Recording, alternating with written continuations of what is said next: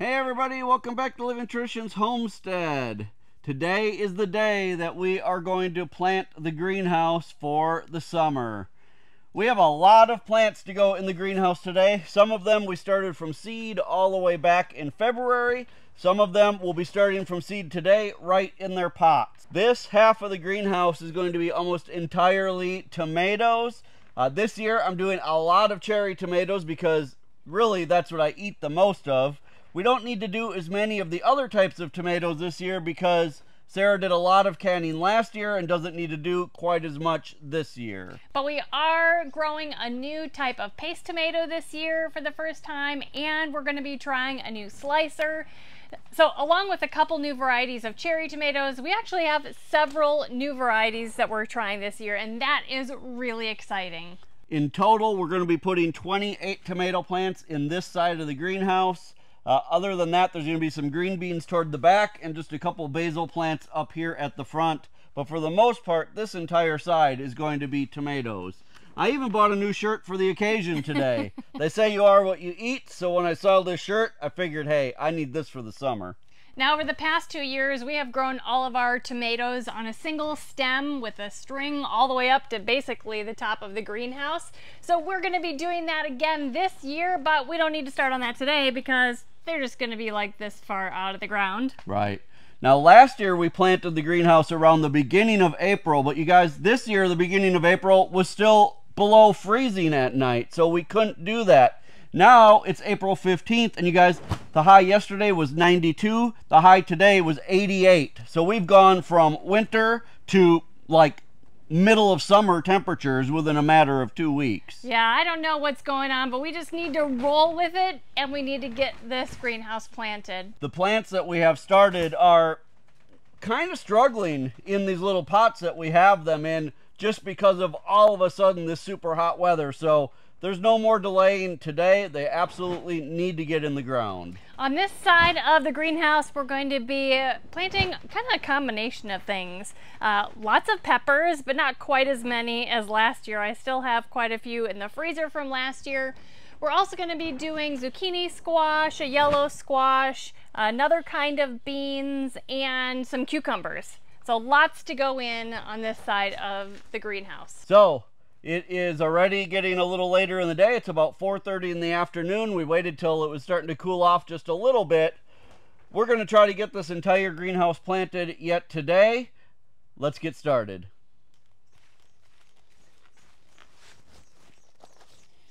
Well, we've laid out all of the plants in each of the pots in this very first row. We're going to start off this row like we did last year because it worked out really well. We're planting first two buckets of basil. Kevin and I love pesto. So every year we grow basil and our very favorite variety for pesto is the Genovese variety. It gets very big, very tall. You get lots of cuttings throughout the summer and the leaves are nice and big. So I have uh, decided to plant two plants per bucket and that will be a great amount of basil for pesto for us. Uh, we started all of these from seed and they're looking pretty good. I've actually cut them back once already to get them to start branching out. So I'm just gonna plant both of these kind of equally spaced in the bucket so that they each get some really nice water from the sprinkler head here. Just tip that upside down and tap it a little bit. Comes right out of the pot. The uh, roots are nice and bright white. That means it's very healthy. Set it down in that hole and then just backfill it with the soil. Now the soil in these buckets is about 50% compost and about 50% potting soil, which is a really great mixture for growing in containers. Now, just as a reminder, all of these buckets are, uh, they're Crystalyx tubs. They're, they're um, mineral protein lick tubs that cattle farmers use. When you buy these tubs, they're actually filled with the protein uh, the protein substance, then cattle lick them out, and then these tubs are just kind of like a byproduct. We use these for our own cattle, but over the years we've also gathered and collected them from other cattle farmers. But now, a lot of times, at least in our area, you can find these for sale on Facebook Marketplace or on Craigslist for anywhere, well, probably average about $5 each, which is a great deal. Okay, so this bucket of basil is planted. I'm just gonna move over here and just quickly and easily plant this bucket.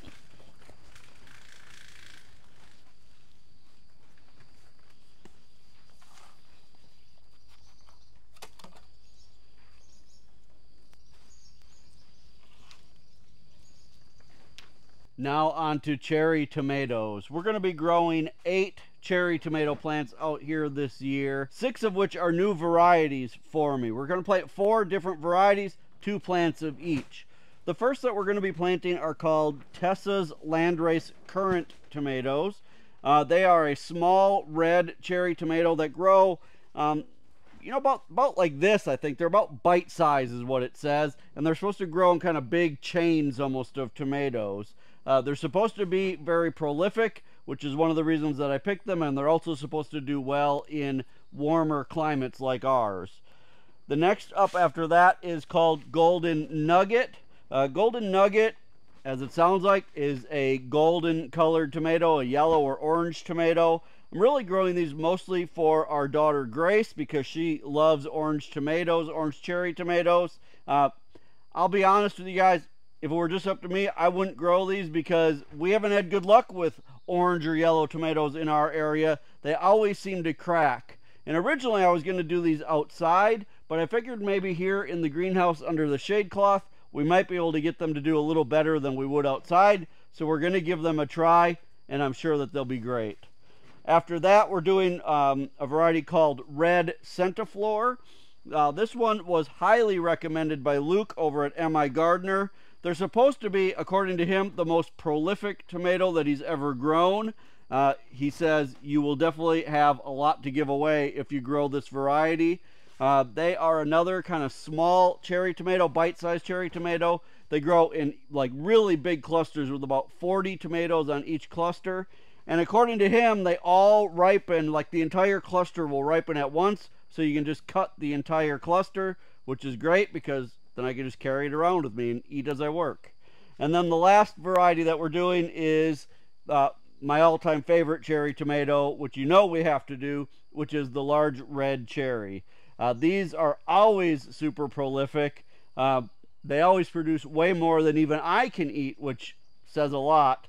And I know that they're going to do great out here again this year. All right, so we're going to start with the Tessa's Landrace Currant tomatoes. Uh, these are a, a much thinner stem than some of the other tomatoes. Now, because we had to hold off a couple weeks to plant because of cold temperatures in our area, these plants have gotten a little bit bigger than we would have liked in our pots here. You can see the roots kind of coming out the bottom and the plants are falling over a little bit. But you guys, these are tomatoes. They're very, very forgiving. So what we will do is we will just cut off these lower branches in this case, I'm going to probably cut them off all the way up to about here. And then we will just plant this plant all the way down into the soil. This entire stem can go down into the pot. And all of this will turn into roots underground. And then this tomato will start to grow straight up. So it doesn't really matter in the long run that it fell over like this in the pot. We're just going to snip all of these off. We're going to have to dig a pretty deep hole for these. Now we are going to be doing a few varieties of tomatoes out in the actual raised bed garden as well this year, uh, but those we still have another few weeks before we can put tomatoes outside in the outside garden.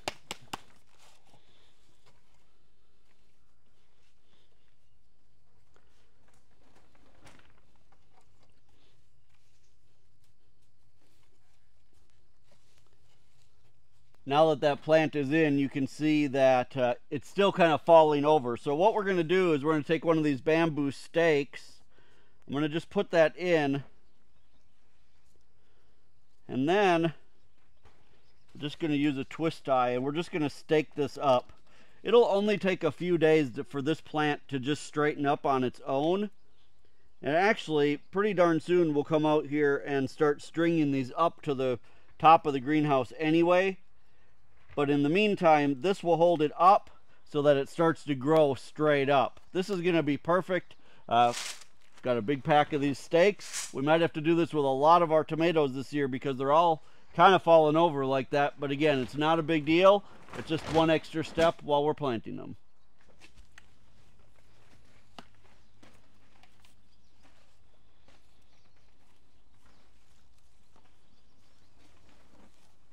This year I'll be planting two varieties of paste tomatoes. And paste tomatoes I use to make pasta sauce, spaghetti sauce, uh, things like that. Just love it. I'll be doing uh, six plants of the Amish paste, which has become my absolute favorite over the last couple of years. And then a new variety called Jersey Devil. Jersey Devil is a long paste tomato, about six inches long, very prolific with a fantastic flavor.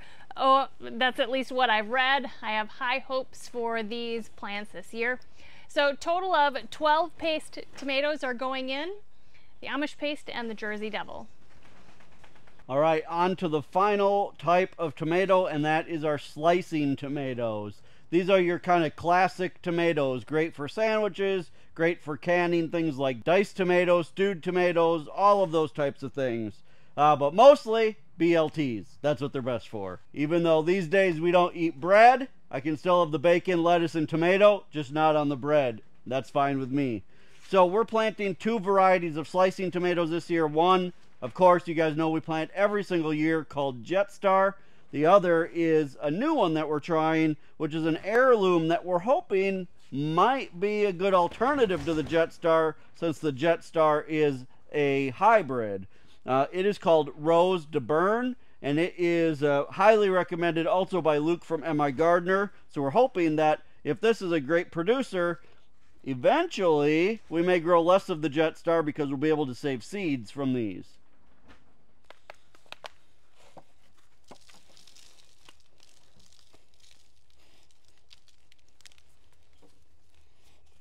Well, all of the tomatoes are in. You guys, this is an exciting day. Now, we do have them all staked because, again, they were kind of falling over. We're going to leave them staked like this for probably like a week. After about a week, they'll straighten up nice. At that point, we'll use our single string method to, uh, you know, string them up to the top of the greenhouse. I'm sure we'll probably bring you guys along when we do that to show you how to do that. At the end of this row, we're going to finish it out with some green beans. This is a variety that a lot of you have recommended to us over the last eight years, and we're finally going to try them. Uh, we normally only do one type of bush green bean, and that is contender, but this year we're also going to be trying the jade bush. I know a lot of you grow these, you say that they're great, so we are going to plant about 30 plants of these. We're going to plant six buckets but we're also going to be planting our contenders so that we can compare them side by side. Uh, maybe these will win out, and from now on, this is the only one we'll grow. So let's go down to the end of the row, and we'll plant these down there.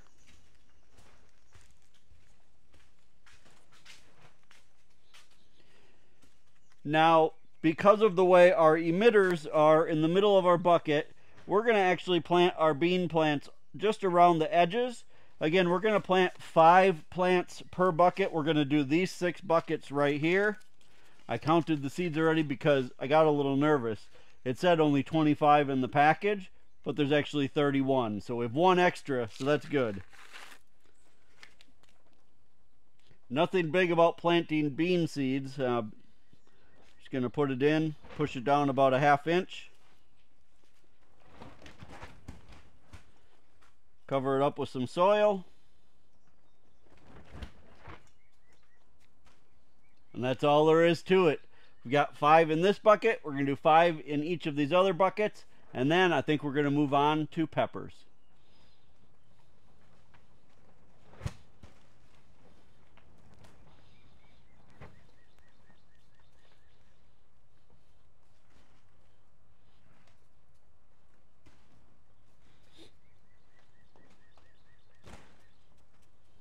You guys, on to the peppers, which is really my favorite part because I love to grow peppers.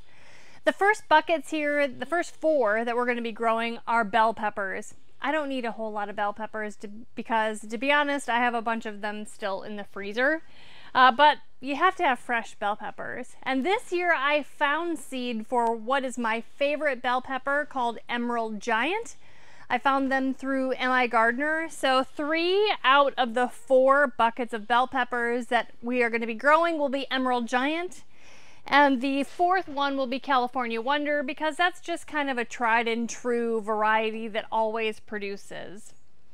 Uh, next up in the pepper department will be a new red pepper. You guys know that I love red roasting peppers and this year I'm going to try a new variety. It's technically a grilling pepper, like a red grilling pepper, but grilling, red roasting to me kind of seems like the same thing. So I'm going to be trying this new variety. It is called Red Corno de Toro, which is really hard to say, but I'm hoping it does fantastic and produces a ton of peppers so that we can all try them kind of together. So I'm doing two buckets. Now each one of the buckets we're going to be planting two pepper plants, which worked really well for us last year. So I'm going to continue doing that this year. Next up is something that Kevin has been wanting to try for a couple of years.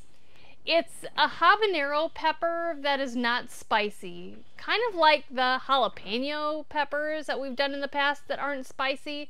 Those are called nadapenos, but this year we're trying the not spicy habaneros, which are called habanadas.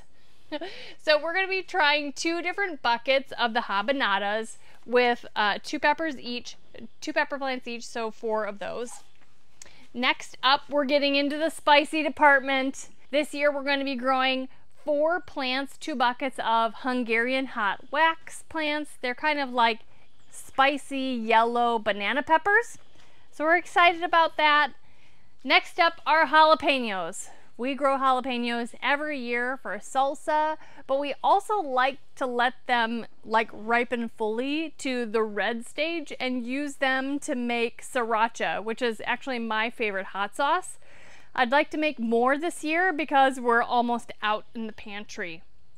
So we will be planting three buckets of jalapenos uh, with a total of six plants. Moving on will be Tabasco peppers. It's been several years since I have planted Tabasco peppers because Tabasco pepper plants produce a ton of peppers.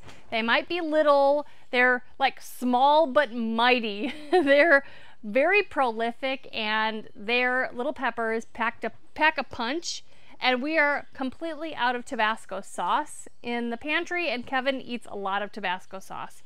So I have six plants or three buckets of Tabasco peppers they're really fun to grow. They look like little Christmas trees with their red little peppers on them look like Christmas lights. I hope that they produce a bunch so that I can show you just how prolific and how beautiful and how wonderful their flavor is. And then hopefully later this summer, we can make some Tabasco sauce together. Okay, like I said, we are going to be planting two pepper plants per bucket because it did really well last year. And really, this is just as easy as dig a hole, put the plant in it, and cover it back up. Now, for those of you who have been following us for many, many years, you will notice that when we started planting the tomato plants, something was missing. We did not use rabbit manure in the bottom of our, holes this year we have found that this compost that we have been using is so dense in nutrients that it is actually not necessary.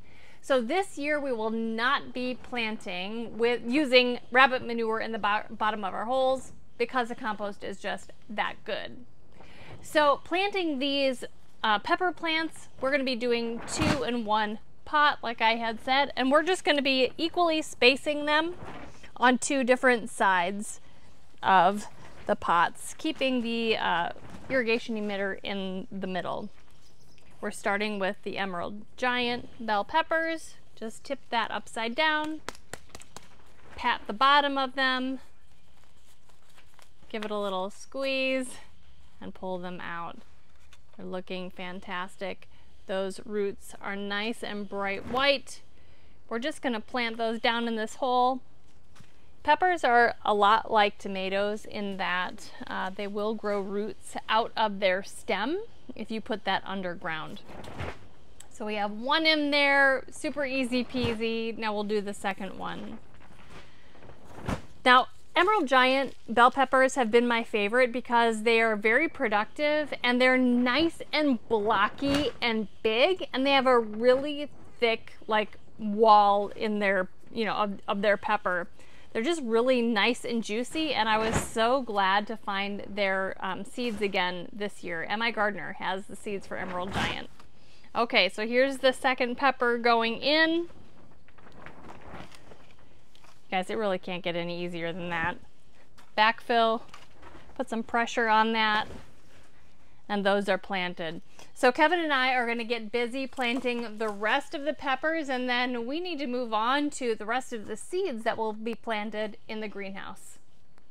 All right, after the peppers, the next thing we're gonna do is another six buckets of green beans. I guess I'm the bean guy today.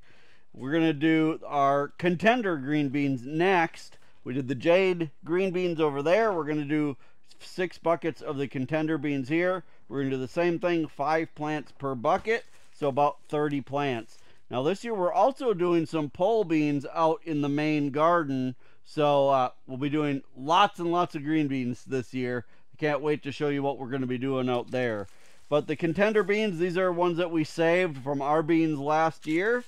Uh, just like before, we're going to do five per plant. We'll put them about a half inch under the soil. We're going to put five around the edge like this.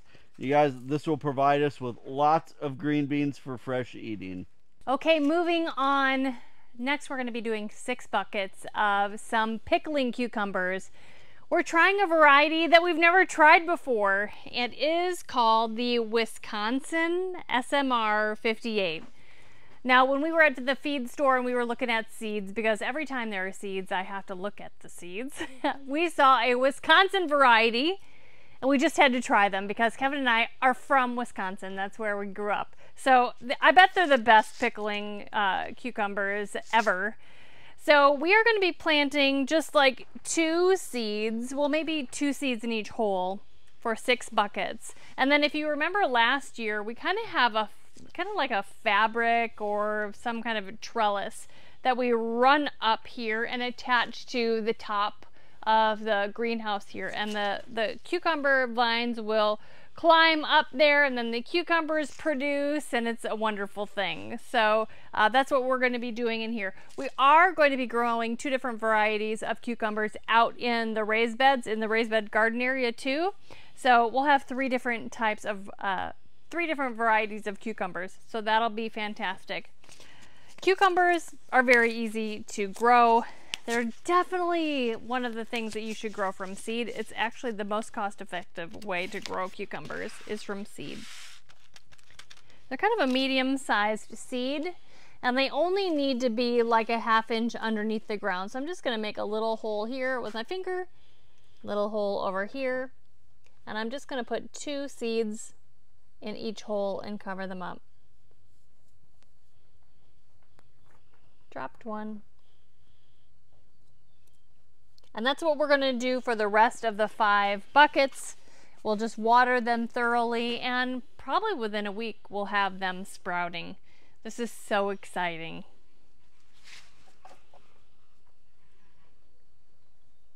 All right, next up we're going to be planting zucchini and yellow crookneck squash. We're going to be planting the Black Beauty Zucchini, which is kind of a tried and true variety. And the yellow crookneck that we're going to be planting is called Early Yellow Crookneck.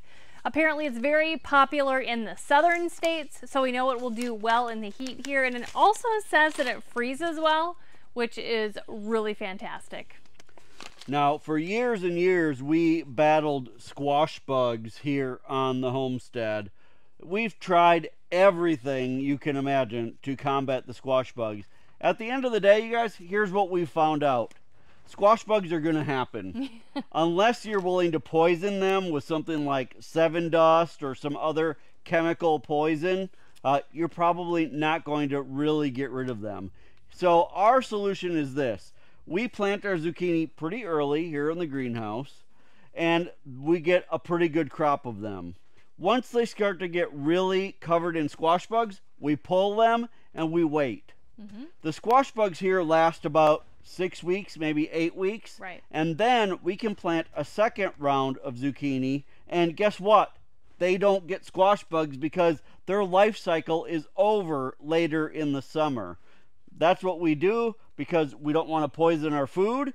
And that's a good way to get a good crop of zucchini early in the spring and another crop later in the summer. And we can do that here in southern Missouri because we have such a long growing season. Right. You may not be able to do that in the north like Wisconsin or Canada or something like that, but maybe up there you don't have a problem with squash bugs. They're terrible here. Right. But that seems to be a really great solution for us. Right. So we're going to be planting just one plant in each bucket. We're going to do six buckets of zucchini, and four buckets of the yellow crookneck squash. Both of the types of seeds get planted about an inch underground. Uh, because the plants are so big, we're going to limit it to one plant, uh, but we're going to plant two seeds each, and when they both come up, or if they both come up, we'll just eliminate one of them.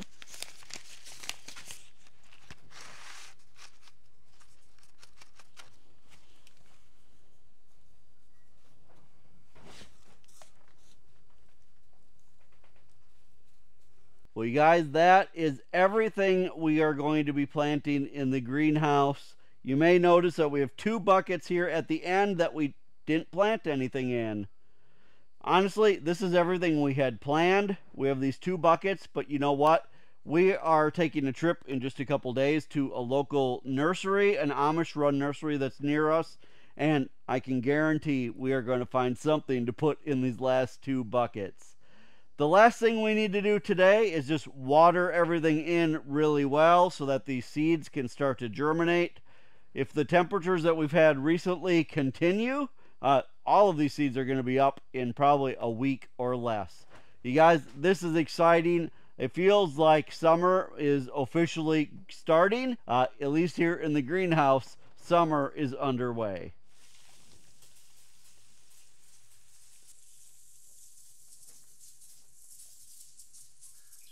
Well, we are losing daylight, you guys, but we got the entire greenhouse planted. We started about 4.30. It's about 7.30 now. So three hours to get the entire greenhouse planted.